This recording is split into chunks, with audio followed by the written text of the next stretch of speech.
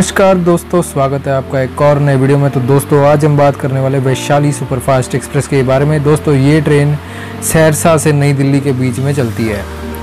दोस्तों, बात की जाए इस ट्रेन की तो ये इसका ट्रैवल टाइम है तेईस घंटे चालीस मिनट का। डिस्टेंस है इस ट्रेन का बारह किलोमीटर। जो ये कवर करती है चौवन किलोमीटर पर आर की एवरेज स्पीड से और चौबीस हॉल्ट है इस ट्रेन के।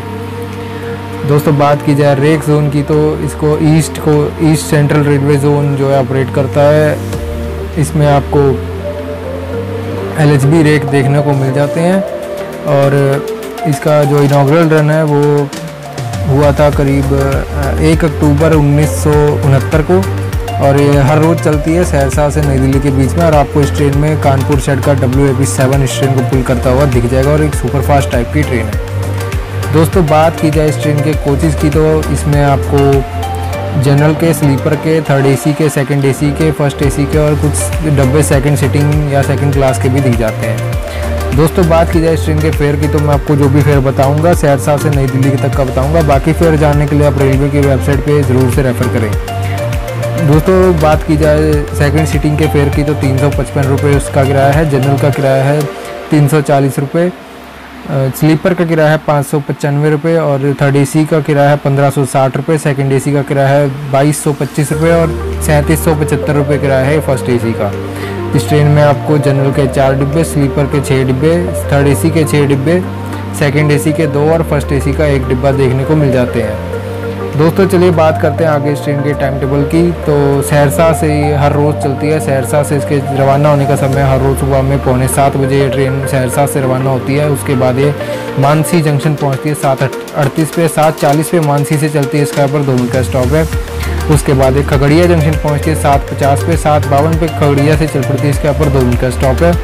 उसके बाद ये बेगूसराय में पहुँचती है आठ उन्नीस पे, आठ इक्कीस पे बेगूसराय से चल पड़ती है इसके दो मिनट का स्टॉप है। उसके बाद ये बरौनी जंक्शन पहुँचती है, आठ पचास पे सुबह में और नौ बजे वहाँ से चलती है। इसका यहाँ पर दस मिनट का स्टॉप है। उसके बाद है दल सिंह सराय में पहुँचती है। दल सिंह सराय में नौ तीस पे पहुँचती है। नौ बत्तीस पे सुबह में दल सिंह सराय से चलती है। इसके यहाँ पर दो मिनट का स्टॉप है। उसके बाद ये समस्तीपुर जंक्शन पहुँचती है सुबह दस बजे। दस पाँच पे वहाँ से चलती है। उसके बाद मुजफ्फरपुर जंक्शन पहुँचती है करीब दस पचपन पे। ग्यारह बजे वहाँ से चल है। इसके यहाँ पर पाँच मिनट का स्टॉप है। उसके बाद हाजीपुर जंक्शन पहुँचती है ग्यारह पचास पे, ग्यारह पचपन पे, हाजीपुर से चलती है इसके ऊपर पाँच मिनट का स्टॉप है।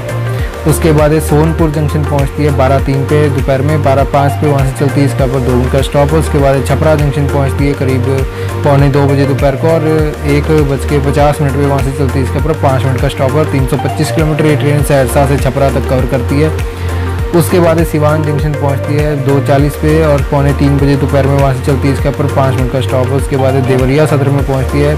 तीन अड़तीस पे, तीन चालीस पे वहाँ से चलती है इसके ऊपर दो मिनट का स्टॉप है उसके बाद गोरखपुर जंक्शन पहुँचती है करीब पौने पाँच बजे और चार बज के पचपन मिनट पे शाम को वहाँ से चलती है इसके ऊपर दस मिनट का स्टॉप है पाँच सौ पाँच किलोमीटर ये ट्रेन यहाँ तक सहरसा से कवर करती है। उसके बाद ये खलीलाबाद में पहुँचती है पाँच इकतीस इकतीस पे और पाँच तैंतीस पे चलती है इसके ऊपर दो मिनट का स्टॉप है उसके बाद बस्ती में पहुँचती है पाँच अट्ठावन पे छः बज के एक मिनट पे वहाँ से चलती है इसके ऊपर तीन मिनट का स्टॉप है। उसके बाद एक गोंडा जंक्शन पहुँचती है सात बज के बीस मिनट पे।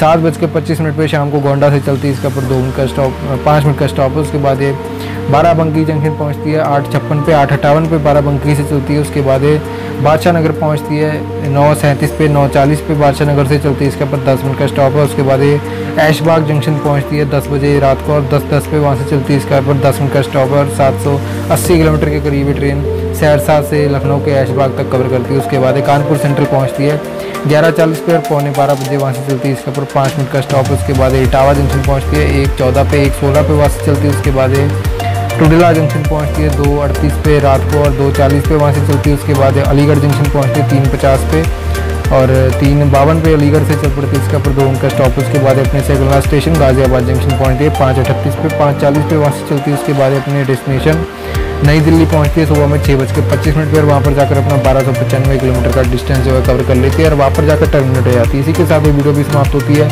आशा करता हूँ आपको ये वीडियो पसंद आई होगी। अगर आपको ये वीडियो पसंद आई है, इस वीडियो को लाइक ज़रूर करें।